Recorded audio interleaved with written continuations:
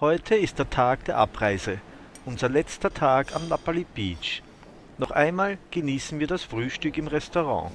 Die Angestellten des Ressorts verabschieden sich herzlich von uns und wir erhalten sogar kleine Geschenke. Nach dem Frühstück tauchen überraschenderweise Lee und Marschwesin bei uns in der Villa auf. Sie haben uns Abschiedsgeschenke mitgebracht. I think the, the other this one is maybe like on hand or maybe the other bag. Wassermelonen, Papayas und jede Menge andere Sachen.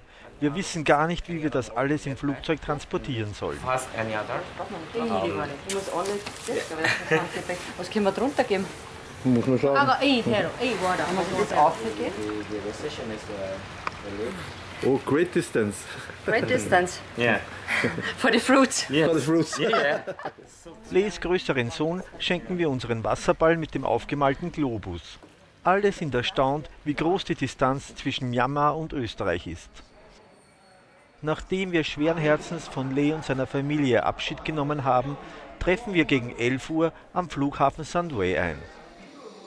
Eigentlich sollten wir um 12.20 Uhr abheben, aber es gibt noch keine Spur eines Flugzeuges zu sehen.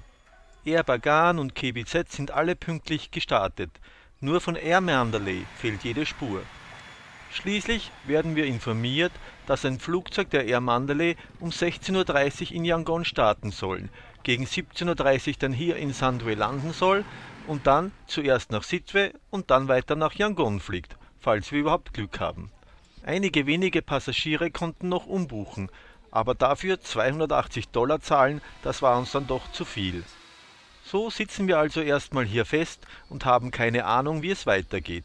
Zumindest werden wir von Air Mandalay mit Essen und Getränken versorgt. Dies hier ist übrigens eine Maschine von Air Bagan. Sie hat voriges Jahr hier eine Bruchlandung hingelegt. So sitzen wir also hier stundenlang am Flughafen Sandway.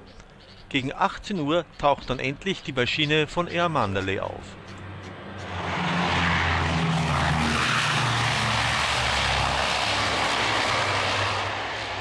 Ganze acht Passagiere sind übrig geblieben, die sich nun freuen, endlich hier wegzukommen. Unseren Plan, heute in Yangon noch die Schwedergon-Pagode zu besuchen, können wir natürlich auch vergessen.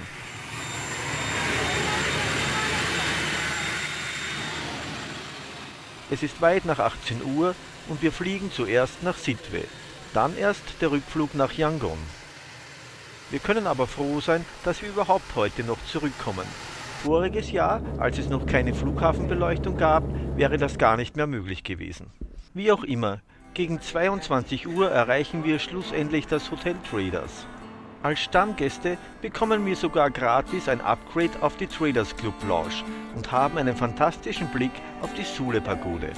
Auch mit dem Abendessen bei Danny wird es nichts mehr, es hat schon geschlossen. Dafür können wir aber einen jungen Musiker lauschen.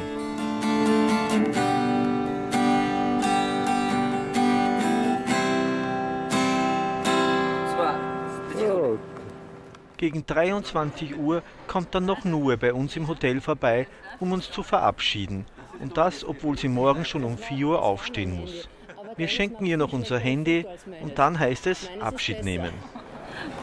Jetzt ist es deine Ich habe wieder, äh, wieder Geschenke von Ihnen. Nein, nicht. Wir haben Wir haben viele Geschenke. Heute werden wir alle ein wenig traurig ins Bett gehen. Aber nächstes Jahr werden wir uns wiedersehen. oh, zu viel, zu viel.